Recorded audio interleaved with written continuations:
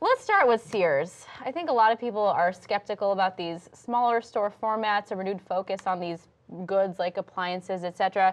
Do you think this is enough to, you know, give Sears the boost it needs at this point? So the focus of these new smaller stores for Sears is going to be home goods, which they were really strong, you know, focused 10, 15 years ago, Kenmore line, etc. Now I think it's a great strategy. The problem is they're holding on to those other 425 large footprint department stores. So these newer stores are about 10% of the size of the older Sears department stores. However, they still have all of that overhead, everything holding them back. So my opinion is like do the thing. If you're going to go into this new omnichannel platform and have online and delivery and blah blah blah, do it. Don't tiptoe the line. So is that so? What does Sears need to do in order to regain? Get rid of those 425 large department stores, save the overhead, and maybe focus. lease them to Amazon for warehouses or something. Yeah, yeah. Utilize their real estate but you know you're not going to get the traffic to maintain those stores. So use the word omni-channel, which is my favorite word and Tim's least favorite word. It's just so I, have heard that. well, when you think of Sears, you don't think of Sears.com. Do you no. think Sears can properly execute an omni-channel strategy where their smaller store formats support online commerce? Well, so what they're going to do is have kiosks in the smaller stores so that you can order online. Basically, you'll go through the process, the shopping process with a Sears representative, find the best appliances for you. They're going to expand Kenmore into more of like plates and, and um, different types of kitchen goods farther away from the washer and dryers and those types of things that we're used to seeing from the brand. Now, that is, it's this combination of experiential and online, which makes for a good omnichannel play. So I think if they execute that well, they have a chance. It's, it's just those other stores. What chances would you give Sears of, of surviving five years out from now? say 15%. Yeah. Yeah. Wow, I mean, I'm not low. super confident. I, I like this concept, but I'd like to see them execute it wholeheartedly. Mm -hmm. Okay, I want to talk about H&M because Tim is very excited about plant-based things. Uh, launching a line that's plant-based essentially, using fruit pits and fruit waste, these kinds of things. Yeah. What are your thoughts on on why a company like H&M would be doing this? Is it to get that consumer interest? Is it because they're truly envir environmentally conscious?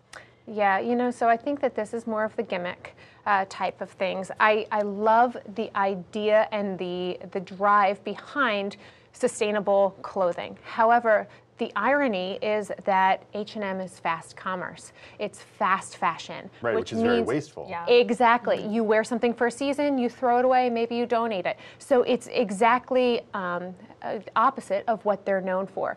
The other problem is to turn fruit waste, so let's talk about pineapple husks, to turn them into viable clothing products, you have to use a whole lot of chemicals. There's a whole lot of, you know, unnecessary uh, water waste that goes into the process. So it's actually the antithesis of eco-consciousness. Mm. Another big story that we're following this week is the new partnership with Beyonce and Adidas. Uh, it's athleisure and mm -hmm. uh, it's look, it's huge. I think it's anything that Beyonce does is a big deal. well, this is Beyonce being Beyonce. Yeah. And like, you want to talk about someone doing the thing? Like, that is, she goes wholehearted. She goes in for the kill, right? So she's going to be the first African American woman to complete, have 100% ownership of an apparel, um, of an athleisure apparel line. So that's super exciting for the entire industry. And she also is an amazing creative director. She has the vision and she gets involved. Well, so what's the relationship with Adidas if she's 100% owner of this company? How so it it's Ivy Park is now owned by Beyonce, which is going to collaborate with Adidas. And Adidas has had success with other partnerships with Kanye West, yes. with Pharrell Williams. What is the precedent here for Adidas partnering with a celebrity like Beyonce? Adidas knows how to do it and to do it well. So they let the celebrity have that creative direction. They did a great job with Yeezy and with Kanye West. So this is going to be Beyonce driving what the brand looks like, Adidas being a distribution partner.